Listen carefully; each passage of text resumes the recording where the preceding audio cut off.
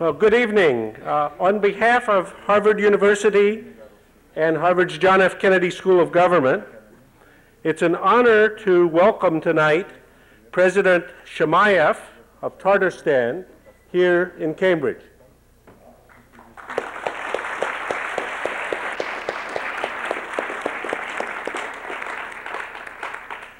For those of us at the university, it is of particular interest tonight to have President Shaimiev because he's played such a critical role in Tartarstan and in making Tartarstan a model for managing the challenging conflicts that have arisen as a result of the disappearance of the former Soviet Union.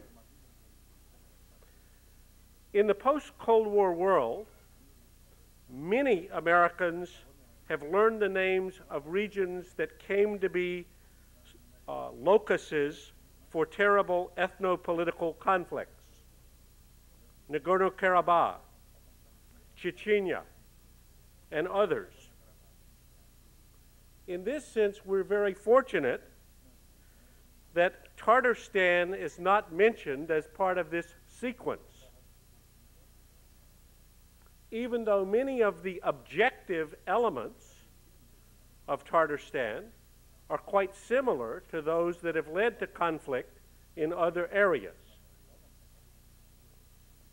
For example, Tartarstan is equally divided between ethnic Tatars and Russians.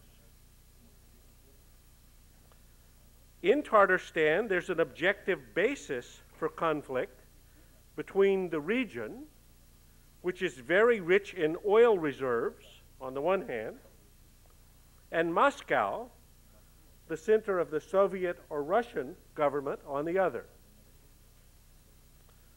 Moreover, Tartarstan was the first republic in the Russian Federation to declare its sovereignty. This prompted at one point former Speaker of the Russian Parliament, Khasbulatov, to threaten to sack the capital of Tartarstan, Kazan, as had been done by Ivan the Terrible in 1552. And as Khasbulatov said, and I quote, to bring Shaimiev to Moscow in a cage, close quote, as the Tsars did before the public executions of rebellious subjects in earlier centuries. But fortunately, Tartarstan and Moscow avoided direct confrontation and have conducted difficult negotiations, but successful negotiations, over the past three years. How has conflict so far between Tartarstan and Russia been avoided? In this, just this past February, a major treaty was signed between the Re Republic of Tartarstan and the Russian Federation. President Shaimiev will, I'm sure, have more to say about that tonight. This treaty has been suggested as a model for regulating serious ethnic and political conflicts in other parts of the former Soviet Union. For example, in Crimea, in its relations with Ukraine, or Abkhazian Georgian relations, or perhaps relations between Chechnya and Russia. Last month, Sergei Tsekov, the Speaker of the Crimean Parliament, submitted draft regulations for relations between Kiev and Crimea on the basis of what he called the Tatarstan model. I believe that a great deal of the credit for avoiding conflict so far is a result of the personal leadership and diplomacy of President Shaimiev as he's dealt in the difficult negotiations with President Yeltsin and others. But we here at Harvard are very interested to learn more of the secret of this successful uh, process and are therefore especially interested in the remarks that he'll make tonight to provide a little more specific introduction of our guest and also to provide some historical context for those of us whose uh, Tartar history is a bit rusty, we're calling on Harvard's own professor, Ned Keenan, to give us five centuries of Tartar history in no more than five minutes. Professor Keenan is the Andrew Mellon Professor of History here at Harvard and one of the foremost scholars of medieval Russian history, who also wrote his thesis on Tartar history and specifically relations between Kazan, the capital of Tartarstan, and Moscow. So, Professor Keenan.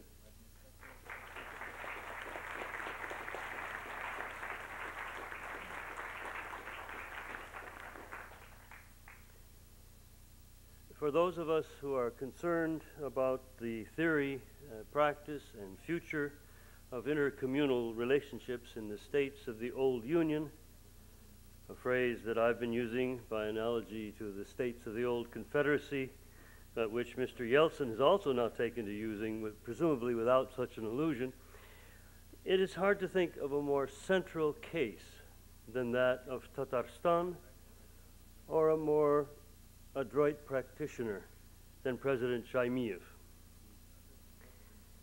This would be true even if we did not know the history of Muscovite Tatar relations. But I propose that a few words about that subject will make the example of Tatarstan and its president even more meaningful. For while we may marvel at the wise pragmatism of the so called Tatarstan model and its architects, whatever its shortcomings, we should not be surprised that it is precisely here, at the bend of the Volga, and at the hands of Tatars, that it has been crafted. Tatar and Muscovite political elites have lived in close symbiosis for half a millennium, since a century before the conquest of Kazan. The Khanate of Kazan and the new Principality of Moscow arose at the same time and as a result of the same political and military alliance between Ulu Mahmet and Vasily II. Ulu Mahmet's heirs, that is, the Khans of Kazan, were the first descendants of Chengiz Khan to marry into the royal family of Muscovy. Tatar princes, especially the all important Nogai princes of the Volga region, collaborated with Moscow, especially against the common enemy, the Crimean Khanate, and even made a deal for the peaceful subordination of Kazan to a Russian backed Khan in 1551, the year before the traditional date of the conquest. It was, in fact, the collapse of this deal that led to the final bloody assault. The interpenetration of Tatar and Russian political elites in the Middle Volga was staggeringly complex and ambiguous. The Russian elite, of course, knew the Tatars well. It's only in modern times that they've forgotten everything they knew. They knew Tatar. Ivan the Terrible spoke it as a second language and is recorded in the Russian chronicles as greeting a Tatar Khan at the age of five at a ceremony in the Kremlin. Tabu salam, sort of a, a kind of uh, bonjour, monsieur kind of thing. A little child is trotted out to say hello to the important guest. Russians were quite at home in Tatar politics. They understood the lay of the land. When 30 years ago I was writing the dissertation that Graham referred to, the title happened to be Moscow and Kazan, as he said, I noticed and I commented on this uh, fact of mm, this close interpenetration. But I realized that the unpublished diplomatic correspondence contained crucial evidence that I needed before I could publish a revised version. Everybody has an excuse why he didn't publish his thesis. The evidence in this case was closely guarded as a part of Soviet paranoia and anti Tatar policy, and in particular because after the genocide of the Crimean Tatars, uh, anything Tatar was taboo. Now I have it all on microfilm, 48 rolls, and it is wonderful. I can give only one example to demonstrate how uh, delicate and ambiguous this relationship was. In 1581, secret instructions were given to a Russian emissary who was sent off to the Nogai horde, which was the main Turkic uh, configuration of the time. And I will quote it Memorandum to Ivan. You have been given the salary for the mullah John Gardi in the amount of five rubles. This was before uh, 16th century inflation.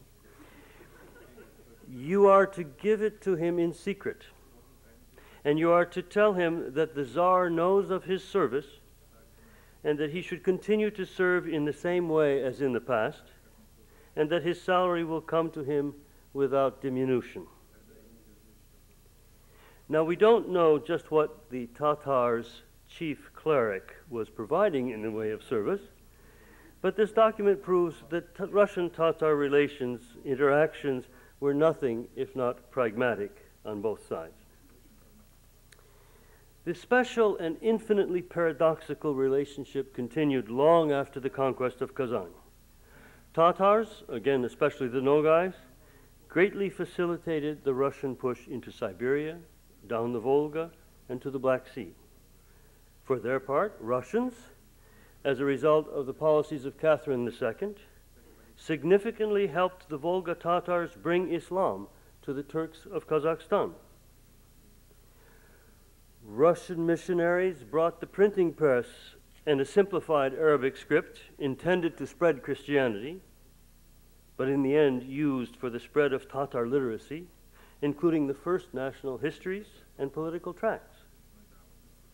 A hundred years ago, Kazan was the acknowledged capital of Tatar printing.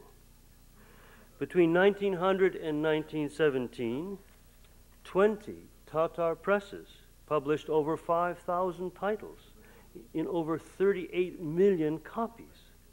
And I'm not co- counting the half dozen Russian owned presses that specialized in printing Tatar books, all in a script invented by missionaries to bring the gospel to the Tatars. Throughout this period, Kazan Tatars were both the most Russianized among the empire's Muslims and the leaders of educational, religious, and political movements for national self expression. In the pre revolutionary period, they originated the most significant Turkic movement, the so called Jadidist movement. And the Volga provided the most mature and sophisticated national communists in the brief period of relative political toleration after the revolution, until they were crushed in the Stalinist reaction and its reversion to imperial repression. The Volga Tatars have been there. They know their Russians. They know their options. We should listen carefully to what they have to say. Mintimir Sharapolu, Mintimir Sharipovich Shaimiev, as we have here, is a Tatar born in 1937. He graduated from Kazan Agricultural Institute, became a manager of a district association for the management of farm machinery, moved, uh, I'm sure, uh, quickly and adroitly through the uh, government and party positions, received the Order of Lenin at 29, a remarkable feat. He has been chief of the Communist Party of the uh, old Soviet Union Regional Committee, a minister of land improvement, vice chairman of the Council of Ministers, uh, secretary of the Regional Party Committee, and finally, chairman of the Council of Ministers of the Tatar uh, Autonomous Republic. He ran for president in 1991 and was elected uh, with a very strong mandate. Every electoral event since that time has demonstrated uh, his broad popular appeal within both the Russian and the Tatar populations. Uh, I recommend him to you most highly.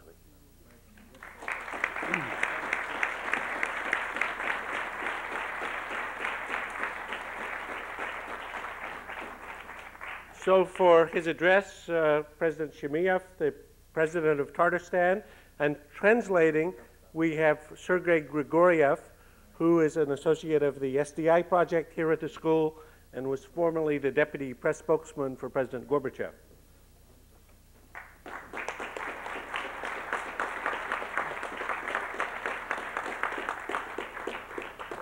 Уважаемый председатель, esteemed chairperson, уважаемые дамы и господа, esteemed ladies and gentlemen, я вот сейчас сидел и думал, I was sitting right here on the podium and thinking хорошо, что я к вам приехал, that it's good that I came here потому что столько хвалебных слов з- в свой адрес я давно уже не слыхал. because it haven't been it, it has been it hasn't been for a while that I uh, heard so many good words about myself, И постараюсь я их оправдать. and I will try to stand up to what was said.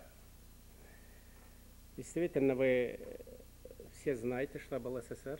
It's true, and you're all aware that there existed such a country as the USSR, Вы знаете, что после развала СССР есть Россия. and you know that after the disintegration of the USSR, Russia still exists, Появился ряд независимых государств, and there appeared a number of new independent states, о многих, которые, о многих вы и знаете. and you also know many names of those states. Но наверняка многие из вас не знают, и вы в этом не виноваты, что есть еще и Татарстан, But I know it's not your fault, but I'm kind of aware that a lot of you do not know that lands like Tatarstan exist, который играет э, заметную роль сегодня, which is playing a noticeable role today какой быть дальше России. in the definition of the path of what's kind of Russia there's going to be in the future. Так распорядилась судьба, That was the fate that told us to do so. что среди бывших 20 автономных республик в Российской Федерации That among the past 20 autonomous republic within the Russian Federation, Татарстан возглавил деятельность, Tatarstan is kind of heads the activities в условиях распада СССР, under the conditions of the disintegration of the USSR чтобы не допустить дальнейшем развития России по имперскому пути, to prevent further advancement of Russia along the imperial path сделать все возможное для того, чтобы построить, and to do everything пользуясь этой исторической возможностью, to utilize this opportunity, historical opportunity to build наконец-то демократическую Российскую Федерацию. finally democratic Russian Federation. А почему же именно Татарстан? But why Tatarstan? Для этого есть свои основания. And there are its own reasons for this. Как прекрасно было изложено, очень was- лак- лаконичной и в краткой форме Well said here in a very laconic and brief way профессором Кениным, by Professor Kinnan. Татарстан всегда имел э, очень сильную государственность. Tatarstan has always had a very strong tradition of statehood, И непростые у него складывались отношения с российским государством. and its relations with Russia has never been simple. И действительно, э, в середине XVI века And it's true Татарстан, that in the middle of the 16th century, Tatarstan, тогда Казанское ханство, at that time the Kazan Khanate э, было завоевано Иваном Грозным. was uh, conquered by Ivan the Terrible. Это действительно была кровавая битва. And it's true that it was a bloodbath. Э, Это в тот момент, когда в основном все остальные народы присоединялись добровольно. And this was at a time when most of the other ethnic groups were joining Russia voluntarily. Это, безусловно, оставил свой отпечаток в And истории. this certainly left its own impact. Второй момент.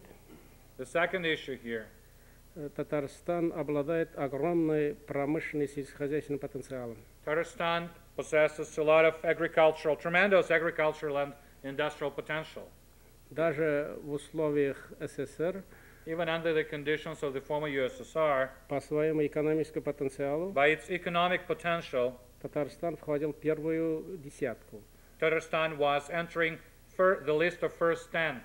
Промышленный потенциал Татарстана выше, чем вместе взятые все три прибалтийские республики. The industrial potential of Tatarstan is higher than all the, the, the industrial potential of all the three Baltic states taken together. Но это, естественно, сыграл роль богатства недр. Of course, what uh, helps, certainly helps here, is, the, is a lot of uh, natural resources. Только после 50-х годов Only after 1950s, из недр Татарстана добыто 2,5 миллиарда тонн нефти. 2.5 v- billion tons of oil were extracted from the uh, land of Tatarstan. Но в связи с этим в Татарстане очень сильно развита нефтехимия. And in connection with this, the oil and chemical production is uh, well developed in uh, Tatarstan. Мы производим много каучука, We're producing a lot of rubber, много полиэтилена. a lot of uh, poly, uh, uh, Polyethylene. polyplastic elements, Materials. Вы знаете, всемирно известное акционерное общество КАМАЗ по You выпуску know, больших грузовых автомобилей находится также в Татарстане. KAMAZ, producing trucks, is based in Tatarstan. Татарстан очень сильно развито самолетостроение, In Tatarstan, uh, plane building is well developed, вертолетостроение, making helicopters, моторостроение uh, different kind of engines, и много другой промышленности. and a lot of other industrial enterprises. И Татарстан целиком полностью себя обеспечивает э, сельскохозяйственной продукцией. And Tatarstan is totally self-reliant in terms of agricultural products. И как неудивительно, за последние три года, когда по, And uh, по всей России снижается урожайность, мы третий год получаем рекордный урожай зерновых. this might sound as a surprise, but although in Russia the agricultural uh, the agricultural product uh, products the production of agricultural products decreases for the third year in a row, we're getting exceptionally high uh, harvest in Tatarstan. У меня как сюрприз, вот я здесь вижу представителя фирмы «Пионер» американской. And as a surprise, I'm seeing here the representative of an American company called Он, Pioneer. он это может подтвердить, они с нами сотрудничают. And he can confirm this because we are working together and cooperating with them. Это я хотел сказать о втором мотиве, значит, это о промышленно, промышленном потенциале Татарстана. But this is the second topic, the industrial potential of Tatarstan. Но э, мы жили в такой системе, But we used to live under the system when всеми этими возможностями э, население не могло в полную силу воспользоваться и, и, и устроить свою жизнь из-за чрезмерной централизации экономики. and build its own life due to the over centralization of the economy. Это всегда оставлял осадок у людей. This was always Оп- leaving some определенную kind of обиду за, за- negative за- uh, за свой труд, неоплаченный свой труд. impact, and the people felt hurt that a lot of their labor input was not properly compensated. Когда говорили о моей биографии, When you were discussing my bio here, вам стало известно, я уже опытный чиновник. you've got to know that I'm a very experienced bureaucrat. когда я работал председателем Совета министров, могу привести только как пример чрезмерной централизации экономики в бывшем режиме. Например, без разрешения Москвы нельзя было устанавливать, какой же жирностью молока надо торговать. For example, without a permission, special permission from Moscow, uh, you could not uh, decide how what the percentage of fat should be in milk. Отсюда можете сделать себе представление, насколько была сильна централизация и бесправие на местах. And that's how you can uh, make your own conclusions, how really centralization was strong and how we were really lacking regular rights being in the И, regions. и вот наступил 85 год. And here comes 1985, Надо сказать, что это долгожданное время. И началась перестройка нашего общества. Как бы мы сегодня не относились к роли Михаила Сергеевича Горбачева, however, we can assess today the role of Mikhail это первый человек, у которого хватило смелости сломать эту машину. Его все равно, я считаю, постигла судьба многих реформаторов истории. Но сегодня уже можно однозначно сказать, что пути назад нету. But there is no path back. Если бы даже и хотели, это уже невозможно делать. Even if somebody really wanted to do so, it's just impossible to go back now. За эти, ну, почти 10 лет люди уже почувствовали, что они люди. Throughout those nearly almost 10 years, people were already beginning to feel that they are human beings. Мы всегда удивлялись, почему же амери- американские государства, правительства, американцы очень много говорят о правах человека. We were always surprised why is it so that the US government and the Americans in general are always talking about human rights. Я вам скажу, до года перестройки это до нас не совсем доходило, не совсем было понятно. And I would say that before perestroika came, it wasn't really well uh, comprehended by a lot of us. Uh, not many of us could really understand it well.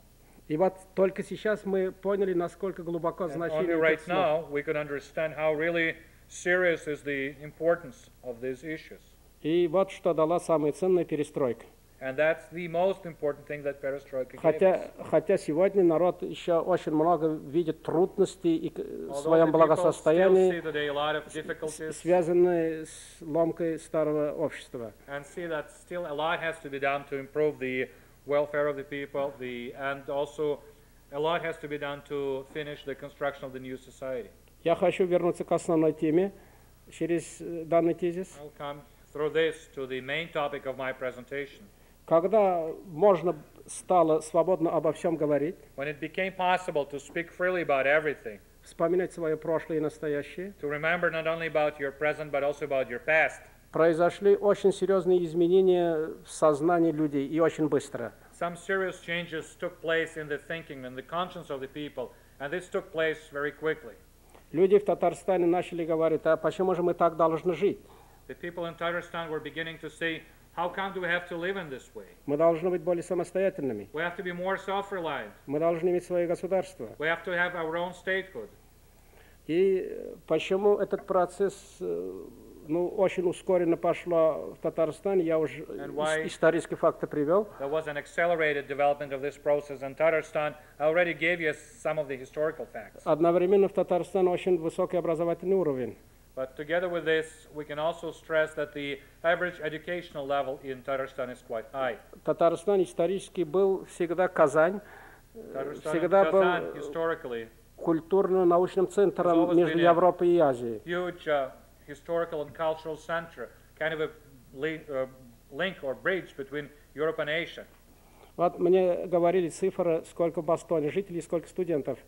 I was told how many people live in Boston, how many of them are students, Это действительно поразительно. and that's really impressive. Но я могу также сказать и о Казани. But I can say the same thing about Kazan. У нас около миллиона двести тысяч жителей, We've got about 1 million and 200,000 population, и каждый десятый человек студент. and every tenth is a student.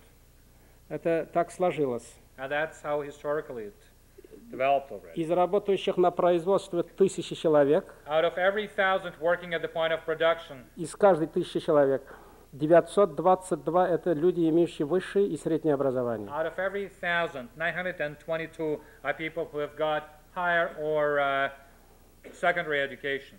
И вот весь этот многонациональный народ заговорил. And all this multi-ethnic uh, land began to speak. Я в то время был э, председателем Верховного Совета, нашего парламента. At that time, I was the chair of the of our parliament of the Supreme Soviet, И мы приняли декларацию о государственном суверенитете в 90-м году and we adopted our declaration about the state sovereignty in 1990, и объявили себя суверенным государством. and we've proclaimed ourselves to be a sovereign state. После этого э, события еще больше форсированный вид приняли. After that, things were beginning to accelerate and move even faster. Вы знаете, в 90-м году нас посетил тогда будущий, то, также председателем Верховного Совета э, Борис Ельцин. You know that in 1990 we were visited by the then also chair of the Supreme Soviet of Russia, and then the future president of Russia, Boris Yeltsin. И тогда он принародно заявил на митингах в Татарстане. Saying, и свои крылатые слова. Вы можете брать суверенитет столько, сколько проглотите. И получилось так, что мы действительно э, успели за эти годы его много взять.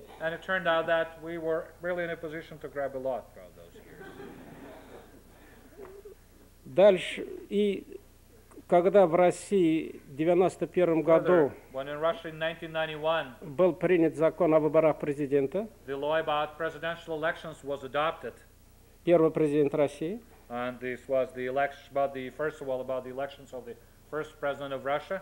наш парламент очень остро поставил вопрос, что Татарстан для защиты своего суверенитета также должен иметь президента. Our parliament also raised the question in a very sharp way that to be able to advance and protect our interests, we also have to have our own president.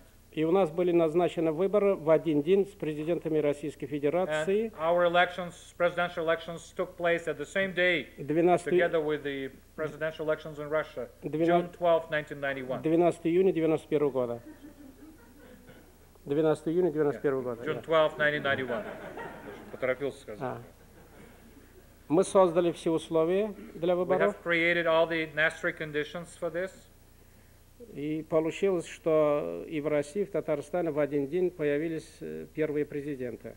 and it turned out that both in Russia and in Tatarstan there appeared two presidents, first presidents. Но хотя надо сказать, что в этот день э, у нас президент России не был избран.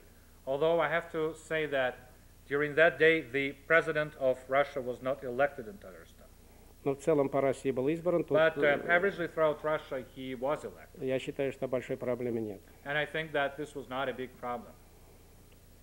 По мере развития процесса But along the path of uh, development of this process, мы вышли на референдум о, о государственном статусе Татарстана. we went to the practical idea of uh, conducting a referendum about the state status of the status of the statehood in Tatarstan. И на март месяц 92 года был об- назначен всенародный референдум. And the popular referendum uh, about this due to, was due to take place in March of 1992. С- Вопрос был сформулирован так. The question was formulated in the following way. Согласны ли вы, Do you agree что Татарстан, that Tatarstan, суверенное государство, a sovereign state, ассоциированный с Российской Федерацией, на основе договора о взаимном делегировании полномочий. Решение было принято, день, рефер- день референдума был назначен. and the day for the referendum uh, was scheduled. И вот тут началось настоящее противостояние. And here, real confrontation began. Это было очень грубое вмешательство. This was a very rude interference, Но я не хочу тут э, обвинять отдельно кого-либо из, but I do not want to accuse here individually or separately и из российских руководителей. anybody from Russian leaders. Но тут заработала полную силу обратная м, инерция мышления. But what was beginning to work at that time is the so-called reverse inertia of thinking. Как же так этот народ объявляет о своем суверенитете? How come those people would like to proclaim their sovereignty? Но мы были уверены, что только народ может решить и ответить на этот вопрос, больше никто.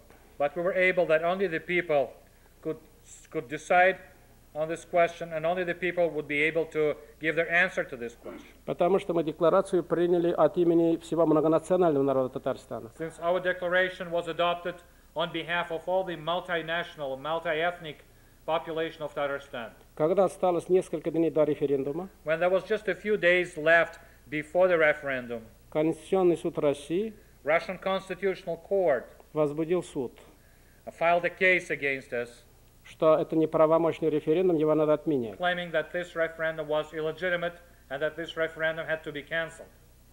Вер- Верховный Совет Российской Федерации And the Supreme Soviet of the Russian Federation организовал бурное заслушивание organized a real uh, passionate нашего, hearing. нашего спикера, and uh, спикера нашего this was парламента. chaired by the and this was this was uh, chaired by the Speaker of our Parliament. Но в эти дни в республику была направлена группа пр- российских прокуроров, Throughout those days, a group of Russian attorneys was sent to the republic. В то время у нас было избирательных участков 2611. At that time, we've got 2,611 polling stations throughout the republic, И всем председателям избирательных участков было дано предписание, если они в день референдума откроют избирательные участки, они будут привлекаться к суду. and although people, uh, all the chairmen of this or that uh, polling station were told by the Russian authorities that the moment they open up their station for voting, they would immediately go to court for a trial. За три дня до референдума они получили такое, все такое письменное They all предписание. got the written notices like this three days before the due date for the referendum. Накануне референдума, On the eve of the referendum, до сих пор это мне непонятно, and I still cannot uh, comprehend this. все же э,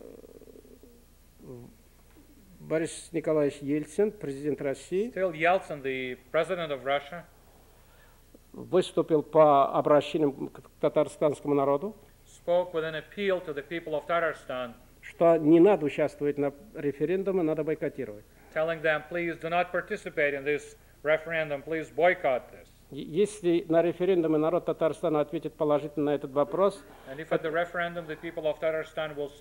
это может привести, это, может привести к кровопролитию.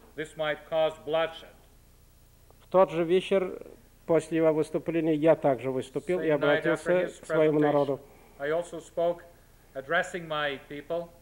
Я объяснял не- недемократичность таких шагов, что за свою судьбу только народ может свое слово сказать. And I was telling that and only the people can say a word in favor of their future destiny. И сказал, только через положительный ответ на поставленный вопрос придет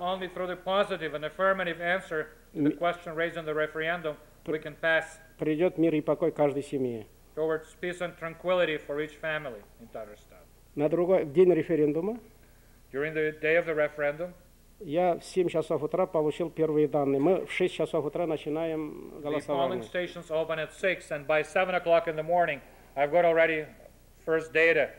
Мне доложили, что все участки до единого были открыты для избирателей.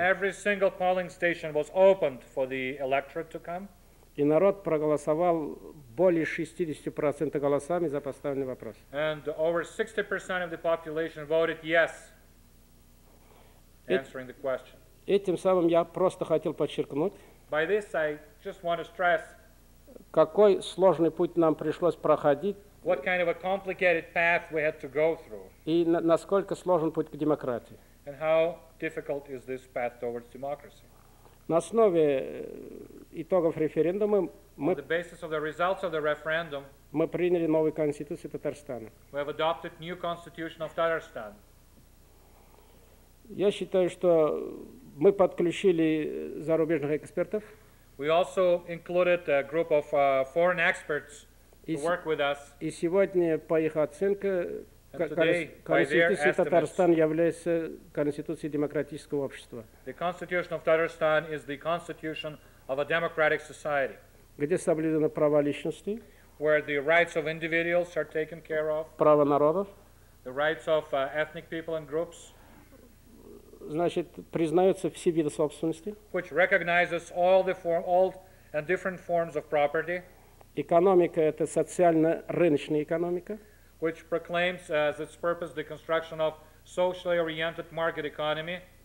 Я считаю, что э, главное, мы объявили два государственных языка, и татарский, и русский язык государственными And I языками. think that the important thing that what one of the most important things we did is that we proclaimed both languages, Russian and Tatar, as the state languages of the Republic of И, Tatarstan. и записали в Конституцию, что все граждане Татарстана А помните, обладают гражданством и? Российской Федерации. That all the citizens of Tatarstan also automatically possess the citizenship of the Russian Federation.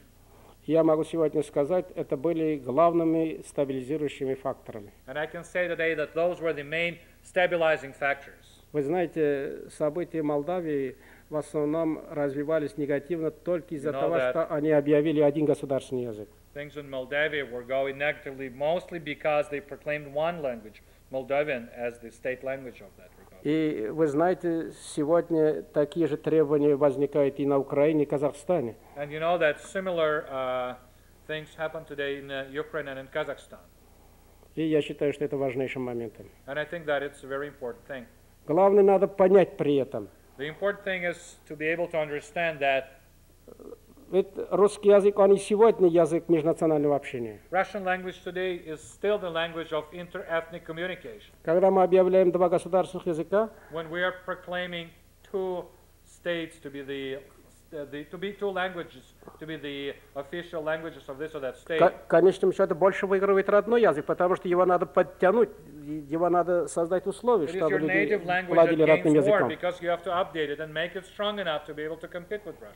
Это я порядка просто э, ну, такого напутствия будущим молодым политикам. That's kind of my piece of advice to the future politicians around. Время шло, Time was passing by, и э, российская общественность и Содружество начал постепенно по, по мере, по мере развития демократических процессов начал воспринимать все, что сделано было в Татарстане. was beginning to kind of adjust themselves to what was uh, uh, going on in Tatarstan. И мы президентом Ельциным вели три года тяжелые переговоры. With President Yeltsin, we've been conducting real difficult negotiations for three years о взаимоотношениях Татарстана с Россией. about the mutual relations between Tatarstan and Russia. Были очень тяжелые дни, There were really hard days in the past, но надо отдать президенту Ельцину, but we also have Должное. to give to, to pay credit to the to President to President Yeltsin, его пониманию. to his understanding Если мы хотим строить демократическую федерацию, if we want to build a democratic federation действительно цивилизованным путем надо находить и решать really конфликты. civilized way, we have to find solutions how to avoid all kind of conflicts. И нам удалось э, после трех лет переговоров 15 февраля 1994 года подписать договор о взаимном делегировании полномочий, что и было провозглашено э, нашей декларацией. Договор, безусловно, это двусторонний документ. Of course, any treaty is a bilateral document. Мы пошли друг другу на уступки. and we both sides went for some compromise. Главное, как мы и заявили, мы не нарушаем целостность Российской Федерации. we said. И мы, мы- и мы вышли на формулу, And that's how we came closer to the formula что э, Татарстан объединяется с Российской Федерацией is uh, kind of на основе этого договора, On the basis of this treaty, разграничивая полномочия между органами государственной власти, between uh, uh, power, и признавая обе конституции, как российские, так и конституцию Татарстана. constitutions. Not only the constitution of the Russian Federation, but also the constitution of Tatarstan. И в рамках уточнения и реализации этого договора And within the framework of finalization and uh, future work, and uh, some more work on this uh, мы, treaty, мы одновременно подписали 14 межправительственных соглашений. we simultaneously also signed 14 different intergovernmental agreements Это касается вопросов собственности, involving the property issues, вопросов военного строительства, the issues of uh, military buildup, банковского дела, banking, бюджетные дела, the budgetary affairs, подготовки кадров the training of personnel, и так далее. and so on. И я могу сказать, что And I can say that договор большинством населения было воспринято с удо- с удовлетворением, the majority of the population uh, received this treaty with satisfaction, и он привел к полной стабилизации политической обстановки в республике. and it led towards complete stabilization of the political situation in the republic. Главное политическое значение договора с Россией, я считаю, Russia, Россия, подписав договор с бывшей автономией Татарстана,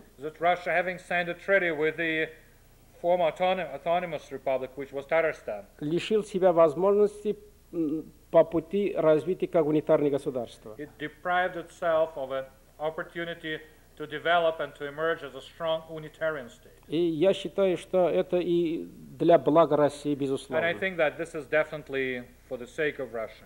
Если учесть, что, если учесть, что противников договора было очень много.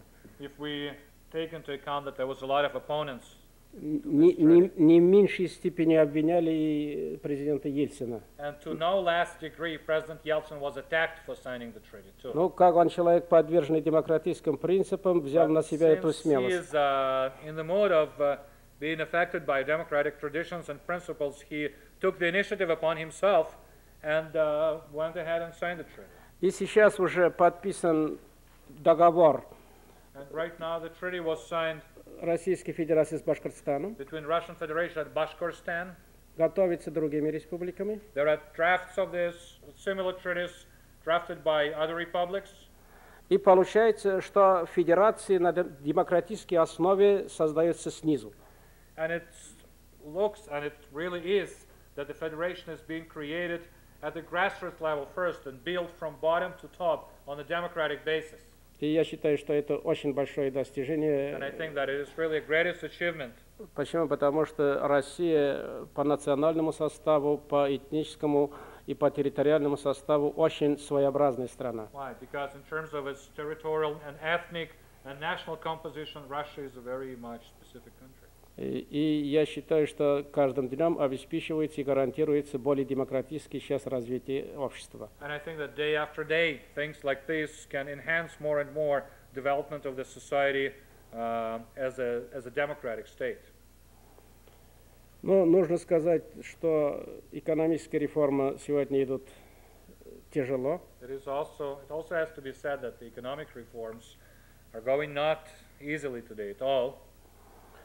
Лично мое мнение, My personal opinion is переходной период несколько затянулось, она могла бы быть короче. this period of transition is kind of uh, overextended and it probably could have been shorter.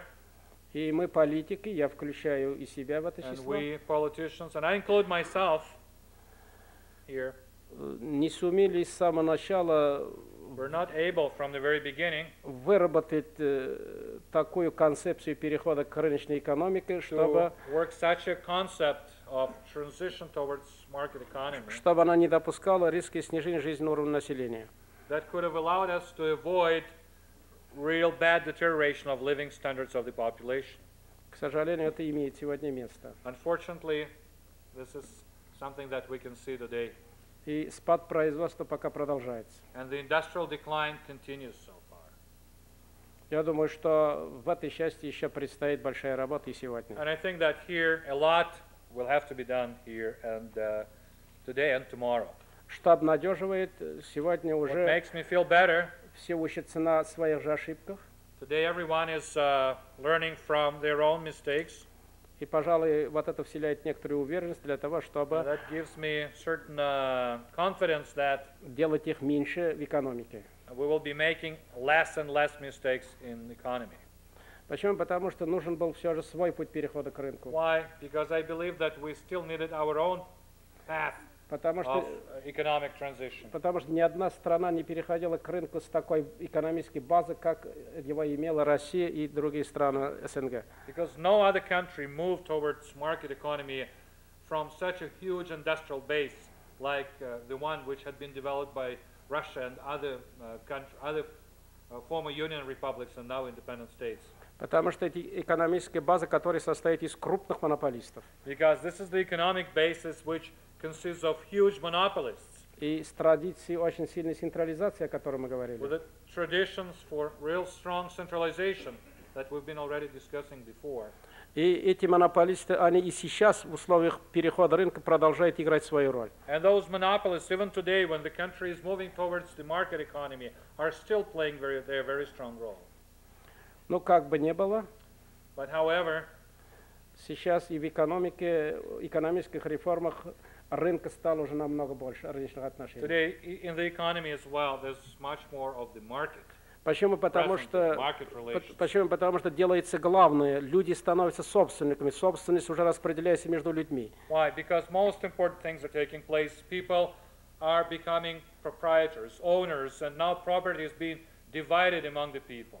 Это разрушает государственную монополию и уменьшает государственную собственность. This undermines the monopoly of the government and this diminishes the amount of property owned by the state. И мы считаем, что этот процесс надо форсировать.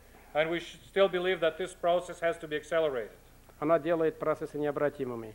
And this makes the processes of transformation irreversible.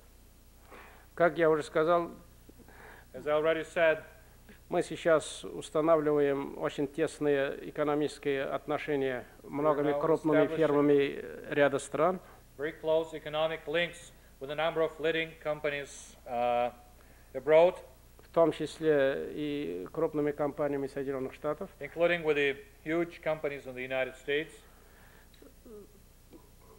Возможности экономической Татарстана таковы, что она может гарантировать устойчивость любого бизнеса вза- на взаимозаинтересованной основе. And the economic uh, possibilities, the opportunities that are present there for our partners are strengthened by the fact that because industrially and economically we're so strong that we can guarantee uh, retribution for any partner who participates in the economic process with us.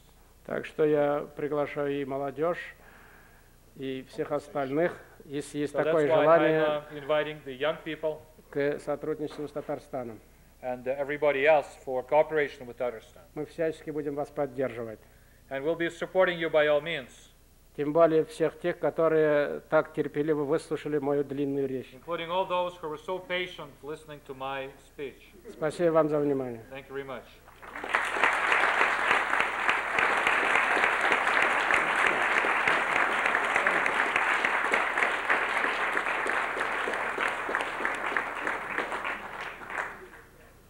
So, uh, thank you very, very much uh, for these remarks. We're going to have very brief comments or questions from the panel, and then we're going to throw it open for questions from the audience.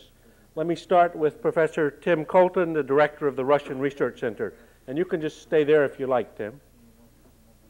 Thank you. I'll do exactly that.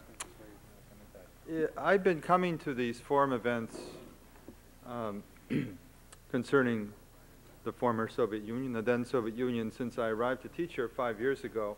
And it's interesting to see the trend. Um, when the Soviet Union was undergoing its crisis at the end of the 1980s and the 1990s, we discovered that um, there was more to the Soviet Union than just the Russians. And I can remember events, I remember one very well with uh, uh, Leonid Kravchuk in 1991, I think. Uh, I think it was September 1991, in fact, just before the end of the USSR, uh, when he met with a large group in this forum and talked about Ukraine's aspirations, as he interpreted them. And what's happening now is I think we're starting to realize, we collectively, and maybe specialist audiences as much as gen- generally educated audiences like this, that there's more to Russia than just the Russians in the narrow sense. So I think it's a great idea that Graham brought uh, President Shaimiev over and that an American audience gets to see that 15 to 20 percent of the population of the state of Russia consists of ethnic non-Russians, many of whom live in ethnic homelands whose relations with the center have yet to be perfectly um, defined. What I would like to do is just ask one or two questions and not to take up time with a lecture. You've come here to see Mr. Shaimiev and not to hear me. And let me just ask one or two simple, but, but maybe not so simple questions. One of them would be simply the question about the, the large and the small. Um, I'm a political scientist, and, and um, we deal with power relations all the time. And a simple rule in politics seems to be that those with power uh, have their way over those who don't have power, or those who don't have a great deal of power. This is a rule of international relations, and very often in the politics of states, it is also also a rule that the large groups dominate the small groups. Unless the small learn to uh, contain the ambitions of the strong and to get what otherwise they might not achieve in the normal political course of events. So my question to Mr. Shaimiev would be, let's say I were a naive observer, I would say if there are 120 million Russians and several million Tatars, a relatively small group by world standards, how can it possibly be that you have negotiated with the president of Russia as an equal, particularly given the fact that your country lies on the territory of this larger country? I am not denying that you have been successful, but to the, again, naive observer, the question arises how have you been so successful? What is the key to your success? My other question is about the reaction of, uh, of Russians, of let's say ethnic Russians, Ruskaya, uh, to your success. Uh, at dinner, we were speaking, uh, Mr. Shaimiev and several of us, about um, uh, President Yeltsin, who, as you know, um, before he became a famous world figure, was a provincial uh, Communist Party secretary in the Ural region of Russia, to the east of Tatarstan, but not that far east. They were neighbors, really. In that same region of Russia today, it's still called Sverdlovsk Oblast, Sverdlovsk province. Uh, there has been a great deal of discontent about the, the constitutional status and what are seen, what are seen as, the privileges of the non-Russian areas, the non-Russian republics. And the um, governor, or the uh, the most important political figure in Sverdlovskaya Oblast, uh, a man named Rossel, who incidentally is ethnic, of ethnic German background, um, bitterly criticized President Yeltsin this last spring for precisely for, uh, uh, I'm, I'm sorry, going back to 1993, excuse me, uh, for making too many concessions to republics like Tatarstan. Uh, Yeltsin removed Rossel. This is in the very region that Yeltsin himself uh, made his career. And in the elections last December, Rossel was elected a member of the upper house, the Council of the Federation uh, of uh, Russia. It seems largely on an anti-republic platform.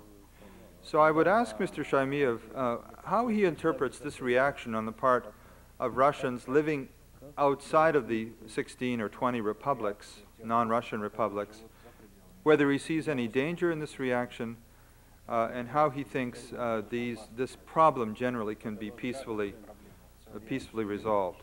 So that is all I have to say. It's just to give several questions to to our guest.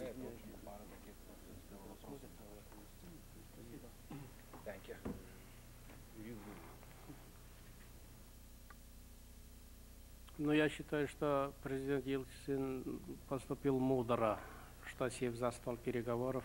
I think that President Yeltsin acted in a wise way, that he set up the negotiations table, and in our case, this was Tatarstan. Если бы он с этим малым бы не сел за стол переговоров, If he would not sit down to talk with his smaller neighbor, он бы потерял большую Россию. he would have lost bigger Russia.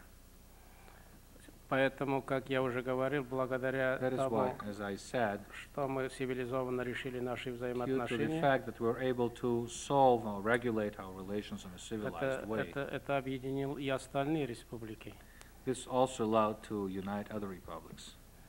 Я считаю, что другого цивилизованного пути и не было. And I believe that there was no other civilized way to act, Потому что любое большое состоит из малых. since all the big things consist of smaller things. Ну, в отношении, как отнеслись остальные области, края, But in terms of attitude of other regions and э- lands, это очень правильный вопрос. I think this is a very correct question Потому что, когда я говорил об огромном потенциале Татарстана, Since when I was uh, discussing this И- tremendous potential of Tatarstan, я могу сказать, что об еще большем потенциале действительно Свердловской области. and I can say, for example, even about a much more powerful potential of, let's say, the Sverdlovsk region. И я выступаю сейчас And и right раньше, now, и сейчас. and like before, I, I'm still advocating В экономическом отношении пусть и Свердловск, и Татарстан, и остальные будут равными. the idea that economically all these lands, Sverdlovsk region and Tatarstan and any other land, should be all equal. Но в части политического статуса это быть не может. But uh, due to different political status, this just cannot happen. Есть исторически сложившееся национально-территориальное образование. Because there exist historically emerged national and territorial units, lands, Куда, ку- countries. куда девать территорию Татарстана и тех татар, которые там являлись, и те на- остальные народы, для них это является древней родиной. What do you do with the tat- uh, territory of Tatarstan? What do you do with uh, the land which is being viewed as their motherland by all those Tatars who have been living there since ancient times? Это касается не только татар, это касается и башкир, и, But that э, involves not only the Tatars, but also the Bashkirs and the Chuvashis and the Mari and many other smaller ethnic groups. потому что эти народы же имеют родной язык, Because культуру. all those ethnic groups have got their own language, have got their own culture, Его же нельзя терять, and this cannot be lost. его же надо развивать. It, it has to be developed. И из этого многообразия And out of this multitude, может быть и духовное богатство в целом всей России. the spiritual wealth of the whole of Russia can emerge. И поэтому этими факторами нельзя не считаться, потому что это, That's why перви- you это, cannot ignore this. это первичное право Because человека. this is the basic human right. То право, которое мне моя мать дала с первых right минут, это my мое mother право. gave me since the first moments of my life. This is my, my right. Если моя мама мне обратилась по-татарски, и If она my mother spoke to me in Tatar language, колыбельную песню на татарском and when I was in the cradle, she used to sing me the song in Tatar. я же, не, осознавая себя, я уже есть татарин. Subconsciously, I became a Tatar. Так это же очень ценно And this is a value in для, itself для каждого народа. for each of us, for every nation. И поэтому в политическом плане их обособленность, э, их конституционные права должны быть гарантированы. Я за это выступаю и буду выступать. And that's why politically, this uh, specific uh, separation of these groups as uh, ethnic groups and specific guarantees of rights of these ethnic groups, they have to be guaranteed, and I will be advocating this. У меня на эту тему господином Росселем разговор был. Он, он приезжал I had a discussion with Mr. Rossel about this. He came to, to, to spend some time with us. К нам приезжал также президент Крыма Мешков. We also had uh, Meshkov, the president of Crimea. Я с ними имел консультации. And I had my consultations with them. Недавно приезжал ко мне Арзинба, Recently, I received Abkhazia. Ardzinba, the chair of the Supreme Soviet of Abkhazia. И как было сказано здесь уважаемым председателем, пример Татарстана, она все же для многих ситуаций, я думаю, что подходит. And as it was said here, the example of Tatarstan is suitable for many situations. Thank you.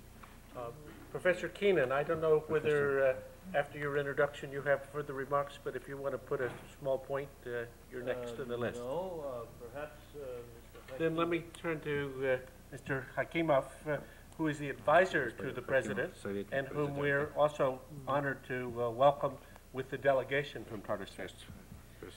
Э, Мне пришлось участвовать э, в конституционном совещании, I was participating in the work of the Constitutional где очень горячо ставился вопрос о равноправии республик и областей. In a very sharp way, the question about equality of different republics and regions and territories was raised, was being raised. У кого-то создавалось впечатление, что республики против того, чтобы областям дали больше прав. And somebody was getting an impression that the republics were against giving more rights to the regions. И тогда республики, мы, представители республик, собрались And then the uh, republics, the rep- we, the representatives of the republics, got together, и договорились, что будем выступать за равноправие, and we agreed that we will uh, be in favor of equality, но только с тем, чтобы права областей повышали. but only under one condition that the rights and the status of the regions would be increased or promoted.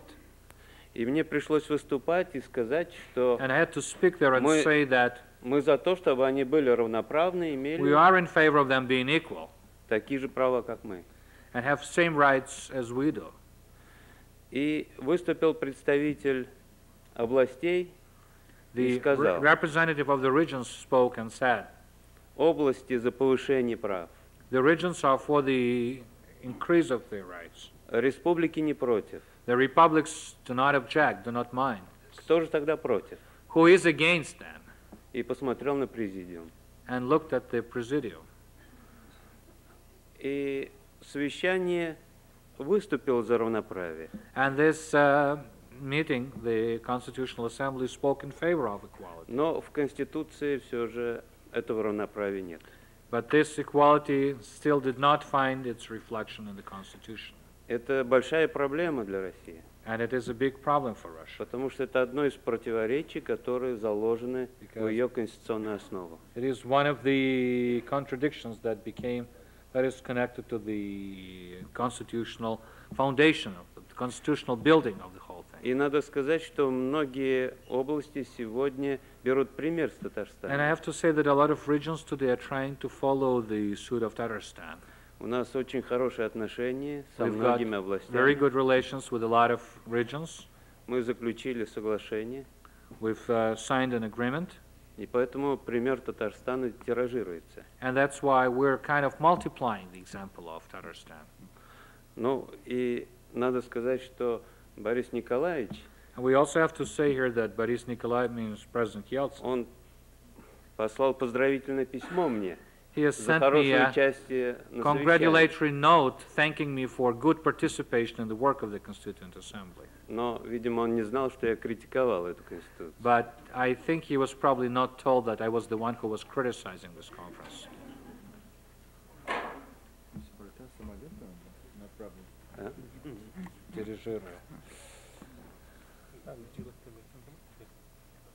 Then let me go to the audience and we'll start with the question here. Is this turned on? Yep. Yeah. Okay. Uh, thank you. And uh, добрый пожаловать, уважаемый. Uh, my name is Fredo Arias King of the journal Demokratizatsiya, and as probably you can guess by the way I'm dressed, I'm also a student here. And uh, my question regards the Russian republics and the near abroad. Recently, in the pages of our journal, um, Kyrgyzstan's president Askar Akayev wrote an article saying that um, there is no chance of Islamic fundamentalism ever sweeping through Kyrgyzstan or any of the other republics of Central Asia, even if his young democracy were to fail. But yet, precisely this is the excuse many circles in Moscow, diplomatic as well as military, give for their self appointed roles as uh, in the interference in the affairs of uh, other supposedly sovereign CIS states and in their own republics. What would you say to the Washington circles who have accepted this policy and this excuse as true?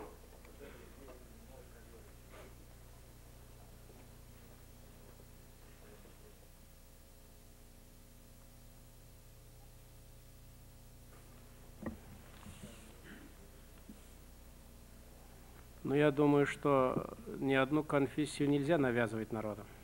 I think that no confession can be imposed on any nation. Это право самих народов. And I think those are the И- rights и право of каждого- those и право- ethnic groups and И, people, и право каждого человека. as well as it is the right of every individual. Если говорить о Татарстане, If we speak about Tatarstan, действительно фундаментализм не угрожает. the fundamentalism is really not a threat at all, Потому что географическое расположение Татарстана в because the центре России geographic location of Tatarstan is right in the heart of Russia. и сосуществование двух And доминирующих религий, Coexistence пр- of православной и мусульманской, two dominant religions, the Russian Orthodox and the Muslim, она, они, я скажу, что очень полезно и дополняет, и сдерживает друг both друга. very usefully supplement and restrain each other. Ну, есть такой примечательный факт. Well, there's such a noticeable factor. До начала перестройки that 85 года, before the beginning of perestroika in в 1985, Татарстане было всего 23 действующих мечети. in Tatarstan there was only 23 acting mosques.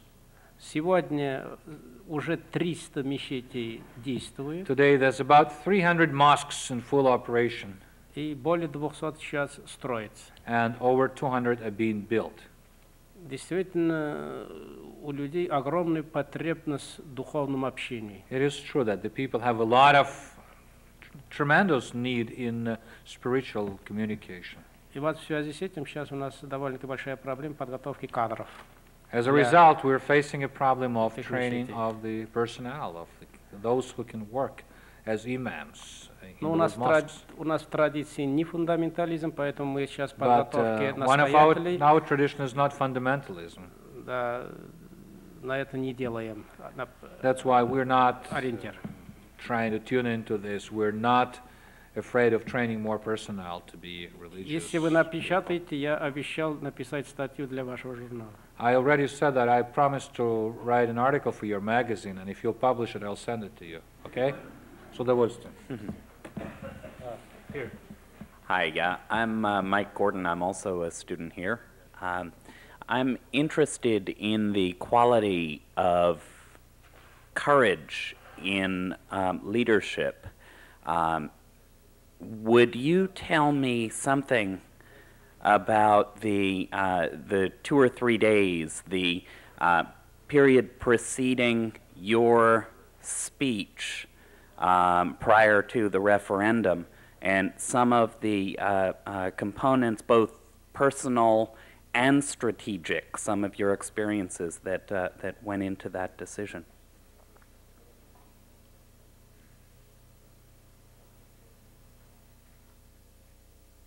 Вы, вы психологическое состояние в тот момент I think you've grasped really well my psychological действительно, действительно все ждали, а что же скажет, скажет президент. Because it is true that everybody was at that time looking at me, saying, what will uh, President Shamiyev say? Но у меня не было сомнений But I had no doubts в правоте нашего дела. that I was right. Почему? Потому что кто же должен сказать последнее слово, если не народ? Who had, can say the final word if not the people themselves? Хотя давление было, я уж как Although, as сказал, I said here already, чересчур большое. Обо всем даже не pressure was расскажешь. too much. There are certain things that I prefer not to tell. Главное, вера в правоте своего дела. But I think the most important thing is to believe that you are right, to believe in the correctness of your cause. Thank you. Please. Hi, I'm Dana Atchison. I'm an ALM candidate at Harvard Extension School. I'm doing my master's thesis on the Russian Constitution. Um, some of the panel members talked about this, but I didn't really hear an answer. Um, Articles 5 and 19 of the Russian Constitution provide for equality among all Russian citizens, yet so many different subsequent articles provide for an imbalance. For example, um, the status of the republics is determined by the republics and the federal government, while regions, the status of the regions is determined solely by the federal government. Um, republics own all of their own natural resources, while regions have to share. Republic, republics send as little as 1.8% of their tax revenue to Moscow, while regions and federal cities send as much as 55% of their tax revenue. Um, republics can institute their own language, while regions are obliged to speak Russian. I'm just curious. It's it's rumored that the republics, I mean, in essence, blackmailed Yeltsin in the parliament during the constitutional debates um, for more power. And I'm just curious. You, mentioned that Mr. Hakimov mentioned that um, the the republics supported equality. Yet I'm just wondering who then pushed for these inequalities in the Constitution.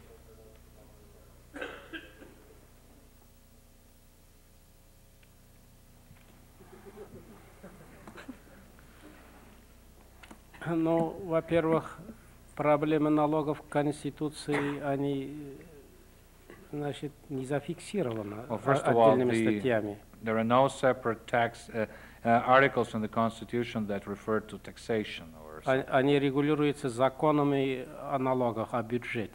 It's being regulated on the basis of the law about uh, the budget.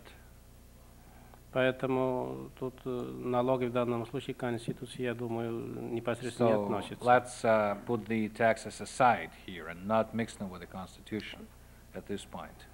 Но республики, даже будучи автономными раньше, до, republics, even being перестройки, before, before perestroika, они, они все равно и раньше имели свои конституции. even before, even under that, under the old regime, they still had their own constitutions. Не, не могли же они, став на путь демократического развития, э, в условиях перестройки общества, потерять даже тот статус, какой был.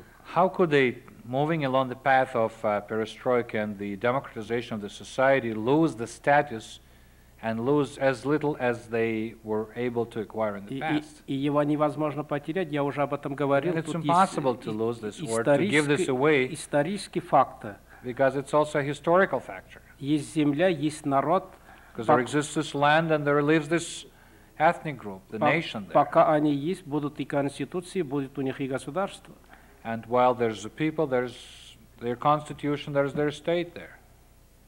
Все же, э, ведь речь идет о древних заселениях. Because we're talking about real old and ethnic. Это несколько, лег- это несколько легче в Соединенных Штатах. Все же Соединенные Штаты это новый мир Америка. And still we would say that the United States is the new world. But even here, look at the way, at the respect that the ethnic groups are being treated with. А то, что в социально-экономическом положении э, и республики, и края области должны быть равными, права должны быть одинаковые, я согласен. But speaking about the equality of rights of Republican regions, I agree 100%. There's no question for me. Who, but who pushed for it? Did the, reg- did the republics push for the Кто же inequality? выступал за неравенство? С чьей стороны вот эта вот идея неравенства провоцировалась? Нет проблемы неравенства, но речь идет о политическом, я сказал. There is no problem with equality, but there's a problem with political equality. Республики есть государство, The republics are states, а области края это административные but the regions and the territories are just administrative and territorial units. Нельзя же из, например, каждую русскую область делать республикой. You cannot turn every Russian region into a republic. Хотя, хотя, такая, Although, although, хотя такая теория была выдвинута в свое время. although a theory like this uh, was uh, suggested at a certain point, Тогда было предложено, тогда создавайте русскую республику, and it was suggested, let's just create the purely Russian а republic, национальные республики присоединятся к русской республике, and then all the ethnic republics will join with the Russian republic, и, и, и, будет федерация. and this will create the federation. Такая модель э, теоретически тоже дискуссировалась. And theoretically, model like this uh, has also been debated. Но так что это вот тема для дальнейшего изучения. But I think that's the topic for future research. Thank you. Let me see- see if uh, Mr. Hakimov would like to make a comment as well, because I think the specific question is, if, if in your remarks, you mentioned that, that uh, Tatarstan was in favor of the regions having the same rights as the autonomous republics. And I think the question is, who was against this solution?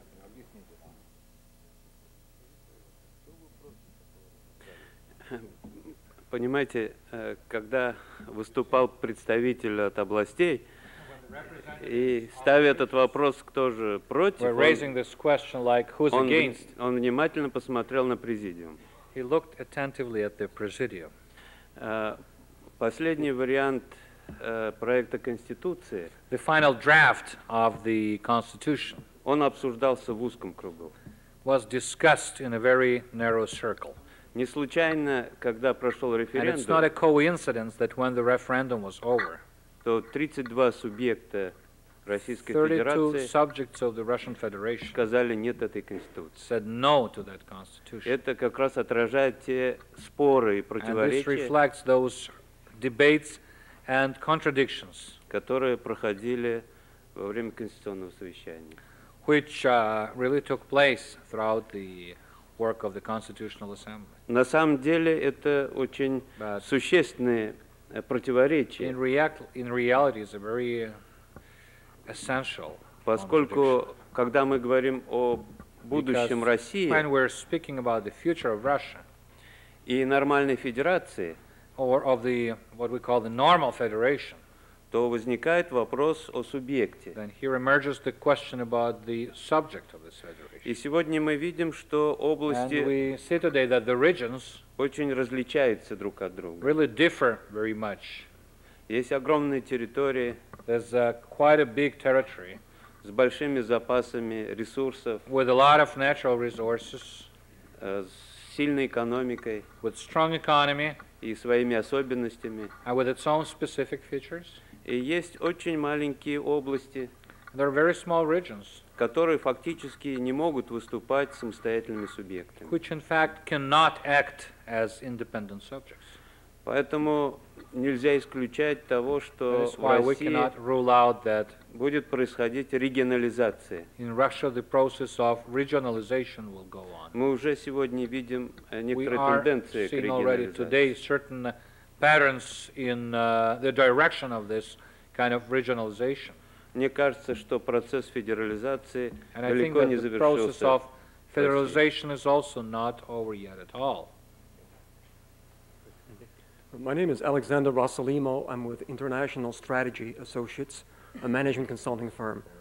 Uh, you spoke of Tatarstan's great industrial and economic potential, which is of great interest to Western corporations.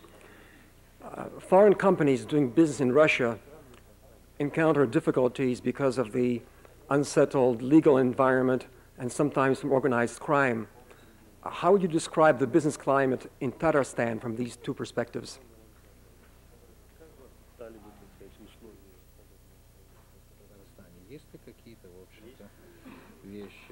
Вещи, связанные с этим? Год тому назад About a year ago, наш парламент, our parliament, по моему предложению, at my initiative, принял закон о чрезвычайных мерах по борьбе с преступностью. adopted a law about emergency measures to combat crime. И нам удалось на сегодня And by now, we were able ситуацию брать в, рук- брать в руки. to control the situation, Хотя было очень много критики, although we were facing a lot of criticism. что этим законом Татарстан нарушает права человека. And there were a lot of screaming that by adopting this law, Tatarstan was violating uh, human rights. Я сказал нет. And I said, no, Права законопослушных граждан не нарушаются. we're not violating the rights of law-abiding citizens.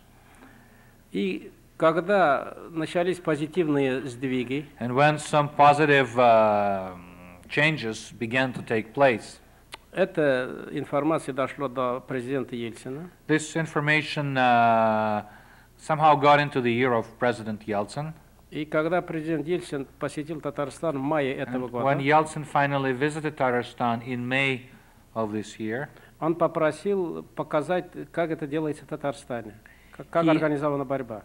he asked us to show him how are we combating crime in Tatarstan. И после этого, вы знаете, через полтора месяца вышел указ президента Ельцина, также аналогичный And as- закону Татарстана по борьбе, указ по борьбе с You преступностью. know, six weeks after that, the law to combat crime, in many ways following the patterns of what was being done in Tatarstan, was adopted in, uh, in Russia, throughout the country. И хотя его тоже очень много критикуют за этот указ. Although Yeltsin has also been very much criticized for the adoption of this В такой decree, for signing this ситуации, в decree. такой ситуации надо же выделить главное.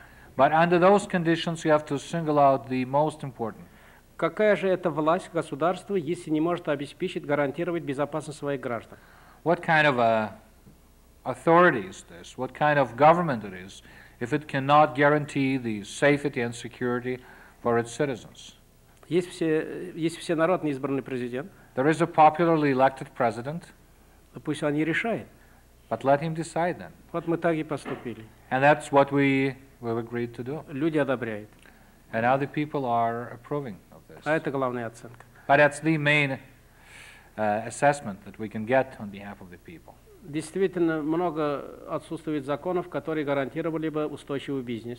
It is true that a lot of laws are missing that would guarantee stable business activities. Вы знаете, что в последнее время выпущен пакет указов президента Ельцина по России.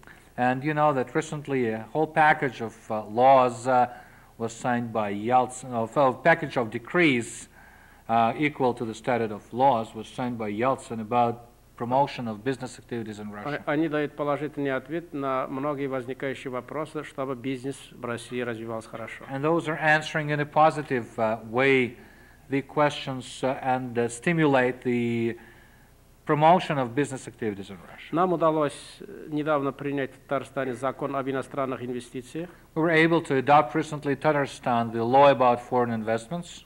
Мы его дали на экспертизу крупным компаниям. We have sent it for the assessment to representatives of uh, huge uh, Western companies. Они считают, что это благоприятный закон. And they believe that this law is uh, the one working in favor. Я согласен, надо принимать еще много других But I законов, also agree that we have to adopt many more new laws чтобы гарантировать предпринимателя. to guarantee the entrepreneurial activities. We're going to take uh, one final question uh, that needs to be brief and a final Последний answer, вопрос, which should короткий also be оттуда. brief. Please, the lady on the left. President Shaimiev, my name is Jeannie Smoot. I'm a project assistant with Conflict Management Group, one of the sponsors of this evening's event. My question for you, sir, is to what extent, if any, will the Republic of Tatarstan represent the interests of ethnic Tatars outside the geographic region of the Republic? I speak here with particular reference to the Crimean Tatars.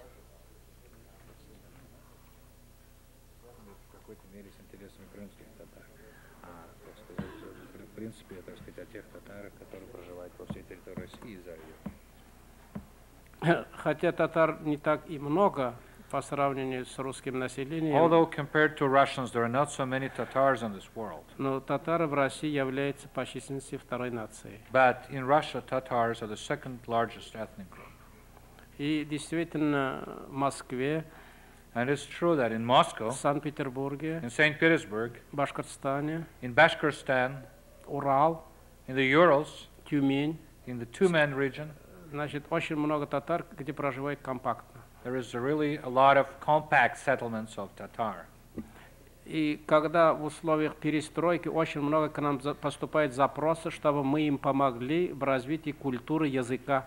And when, uh, since perestroika began, we're getting a lot of appeals on their behalf for us to help them to develop their culture, their language, and uh, so on. И мы впервые в прошлом году в своем бюджете And for the first time last year in our budget, предусмотрели определенную сумму на эти цели, we foresaw the appropriation of a certain sum of money for those purposes, чтобы обеспечивать учебниками, to provide them with textbooks, ну, музыкальные записи, uh, provide them with different uh, music recording uh, records and tapes, посылку концертных групп, э, send their different concert groups, писателей, поэтов, groups of actors and poets, чтобы каким-то образом помочь им в становлении их культуры, языка. somehow to help them in the promotion of their language and culture. Одновременно при недавней встрече, моей встрече с президентом Ельциным, Together with this, during my recent meeting uh, with President Yeltsin, вы знаете, он плавал по Волге во время своего as you know, he's отпуска, been uh, floating down the Volga River, и мы с ним действительно договорились заранее и встретились на uh, земле Татарстана. agreed with him recently, and uh, we agreed about a meeting on the land of Tatarstan. И я поставил вопрос, чтобы такие же средства предусмотреть и в федеральном бюджете. And I also raised the question about the appropriation of a certain sum of money uh, in the state budget, in the central, in the federal budget. Когда я об этом говорил, всем стало весело. Там, я могу подтвердить, действительно было весело. Мы хорошо провели время. And uh, when I was speaking about Yeltsin's trip and you were laughing, I have to say we really had a good time there. Well, on behalf of uh, Harvard, let me say that uh, now От имени uh, Городского университета a good хочу many сказать, more of us know where Tatarstan is. And we uh, trust that President Shaimiev and his delegation know where Harvard now is. We will look forward to his coming back, and we want to thank him and the delegation for an excellent panel. Thank you.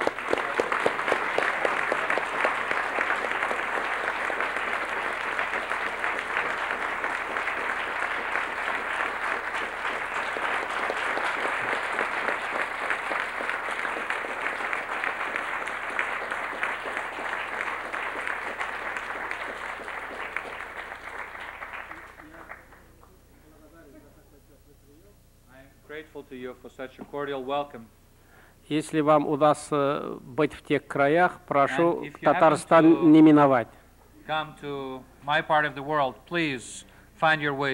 Вы, вы прямо можете сказать, мы же с вами в одном зале сидели Гарвард. И у меня не будет морального права отказывать вам прием and и создать надлежащий. No moral right to say no, and I'll receive you with warmth too. Потому Thank что, you. потому что вы действительно очень хорошие. Because you're really good and I like all of you. Успехов и здоровья и благополучия вам всем. Good health to you, success and prosperity. До следующей встречи. See you next time.